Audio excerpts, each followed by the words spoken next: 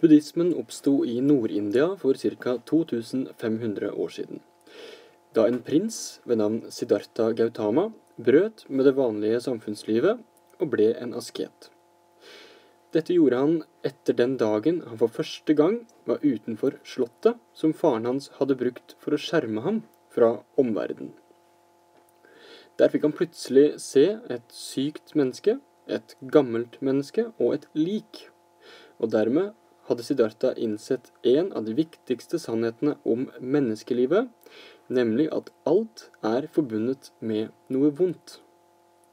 Dette kan vi kalle for sannheten om lidelsen, og den kalles Buddhas første edle sannhet. Denne sannheten baserer seg på tre ting som mennesket må forstå om tilværelsen, som Siddhartha innså den dagen han var utenfor slottets murer. Disse tre tingene er 1. at ingenting varer evig. To at ingenting har noe som er fast og uforanderlig i seg. Og tre at alle ting er forbundet med noe vondt. Det første punktet peker på at alt en gang vil forsvinne. Til og med jorda vi bor på. Det andre punktet baserer seg på det vi nå kjenner fra vitenskapen, nemlig at alle stoffer er i evig forandring, at ingenting står helt stille, og ingenting har evnen til aldri å bli forandret. Selv fjell slipes ned av regnet, og mennesker endrer både kropp og personlighet gjennom et langt liv. Punkt tre peker på at forandring i seg selv er noe smertefullt, i og med at man aldri får det helt som man vil. Man kan ha så mange penger man bare måtte ønske, men man vil aldri kunne glede seg over denne rikdommen for alltid. En dag så dør man, og man må skille seg fra rikdommen sin. Det samme gjelder venner og familie. Siddhartha gikk derfor inn i skogen og ble en asket. En asket er en som tenker mye over filosofiske og religiøse spørsmål.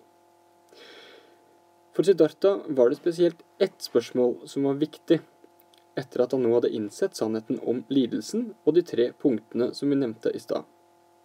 Dette spørsmålet her er hva er det som er årsaken til denne lidelsen?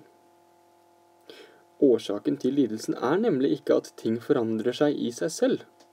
Det at noe forandrer seg, er ikke vondt bare fordi det forandrer seg. Det er vondt fordi vi av en eller annen grunn ikke aksepterer denne forandringen.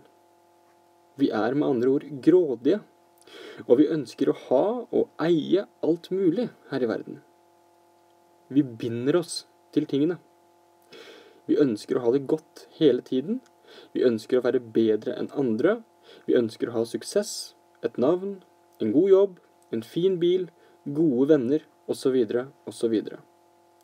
Og vi syns det er urettferdig når ulykker eller døden tar dette ifra oss. Da blir vi ulykkelige. Grådigheten, eller begjæret etter ting, det er årsaken til lidelsen. Og denne sannheten, den kalles for Buddhas andre edle sannhet. Etter å ha levd som asket en lang stund, hvor han bedrev anstrengende fysiske øvelser som faste, dvs. Si å ikke spise mat slik at man tvinger kroppen til ikke å være grådig etter mat, eller å holde pusten i lange tider av gangen for å bli kvitt grådigheten etter pust eller liv, selvpining for å kvitte seg med grådigheten etter velbehag, osv., innså Siddhartha at også disse øvelsene baserer seg på grådighet.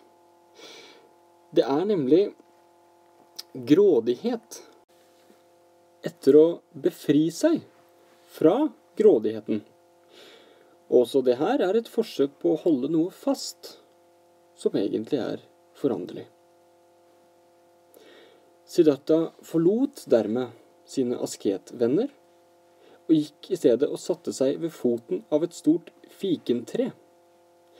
Her satt han helt til han hadde innsett den såkalte middelveien. Man må gi slipp på grådigheten gjennom å ikke være grådig overfor noen ting som helst. Dersom man ikke kommer ut av lidelsen, så skal man ikke bli lei seg eller sint av den grunn, for det vil bare gjøre at man fester følelser og tanker enda mer til det som alltid forandrer seg. Så snart Siddhartha hadde innsett det her, så innså han også veien ut av lidelsen. Det er Buddhas tredje edle sannhet, nemlig at det som gjør vondt, kan ta slutt når man gir slipp på grådigheten.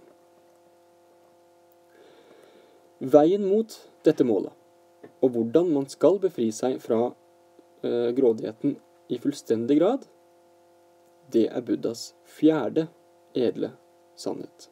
Nemlig hvordan man kan gjøre slutt på det som gjør vondt, ved å følge den åttedelte veien.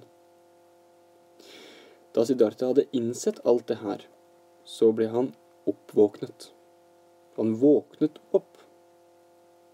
Han våknet opp fra grådighetens og lidelsens søvn, som vårt daglige liv blir beskrevet som av buddhistene. Han blir altså fra denne dagen en buddha. Buddha, det betyr oppvåknet. En buddha vil ikke lenger bli gjenfødt, men har funnet nirvana, hvor han vil komme etter at han forlater denne siste jordiske kroppen. Buddhister følger derfor denne åttedelte veien som er veien til oppvåkning. Den åttedelte veien er 1. Rett innsikt. 2. Rett tanke. 3. Rett tale. 4. Rett handling. 5. Rett levevei. 6.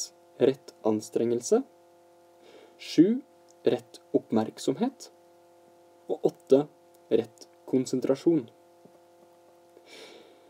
Rett innsikt er viktig for å forstå at man lider. Og det trenger man for at motivasjonen til å bli kvitt lidelsen kan tennes. Rett tanke og rett tale betyr å ikke lyve eller å ikke tenke vondt om andre. Altså med andre ord å være uegoistisk. Egoisme det er jo å binde seg til veldig mye grådighet. Og det vil i sin tur gi mye lidelse. Punkt fire og fem, rett handling og rett levevei, det er buddhistenes moral, eller etikk. Det vil si at man skal ikke såre andre, man skal ikke jukse, eller man skal ikke være stygge mot hverandre. Og igjen så har det her med egoisme å gjøre. Det er egoistiske og grådige egenskaper som surrer oss inn i en slags grådighet og lidelse. Rett oppmerksomhet og rett konsentrasjon, det er det vi med andre ord kaller meditasjon. Og det krever rett anstrengelse, som er punkt seks. Og det her arbeidet gjøres for å forbedre seg sjøl og oppnå kunnskap og visdom som kan fjerne grådigheten gjennom å se hvordan virkeligheten egentlig er, uten alle fordommer og begjær og hat og følelser osv.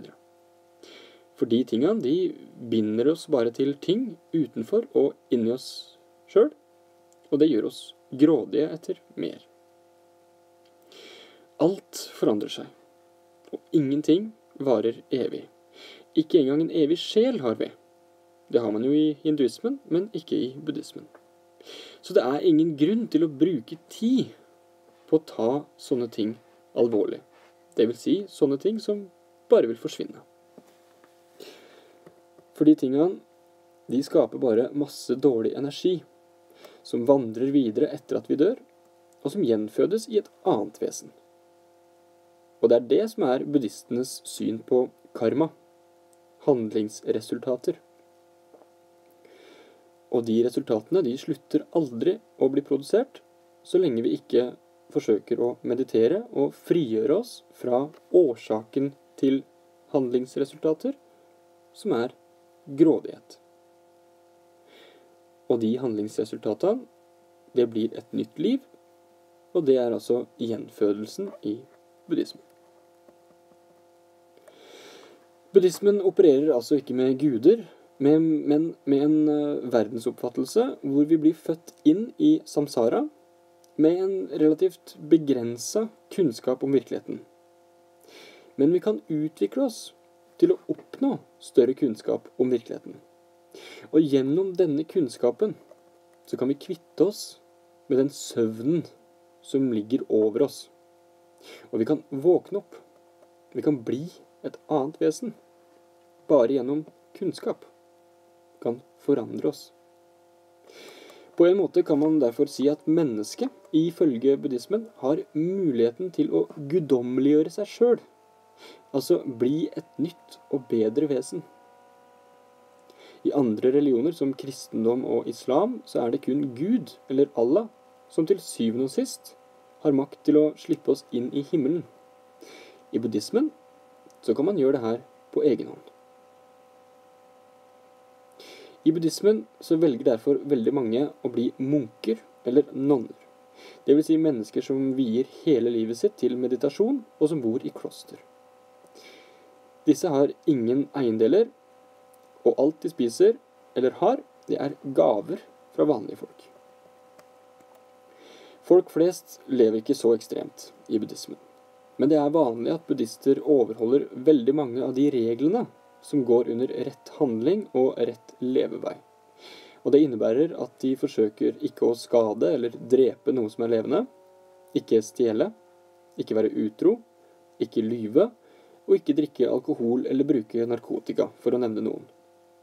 Og grunnen til dette er at alle de tingene som vi nå nevnte, bare forsterker det menneskelige begjær og grådighet, og det forårsaker dårlig karma og på sikt mer lidelse også i framtiden. I buddhistiske land som Thailand eller Burma så er det vanlig at gutter går i kloster fra de er ganske små, og som er en del av utdanninga deres. Dersom en av de her velger å bli munk etterpå, så er det en ære for familien de kommer fra. De landene i dag hvor det bor flest buddhister, det er Kina, Tibet, Mongolia, Thailand, Burma, Sri Lanka, Japan, Sør-Korea, Kambodsja, Laos og Vietnam. Med andre ord sørasiatiske og østasiatiske land. Det er ca. 500 millioner buddhister i verden i dag, og i Vesten, også i Norge, så er buddhisme en voksen religion. Og buddhismen den kom til Norge i 1970-årene. De fleste buddhister de er fordelt i tre hovedretninger, og de kaller vi Theravada, de eldstes lære, Mahayana, som betyr den store vogna, og Vairayana, som betyr diamantvogna. Vairayana det er den mest utbredte formen for buddhisme i Tibet, som er hjemlandet til Dalai Lama. I tillegg så har man andre retninger, f.eks. zen-buddhisme, som er veldig godt utbredt i Japan.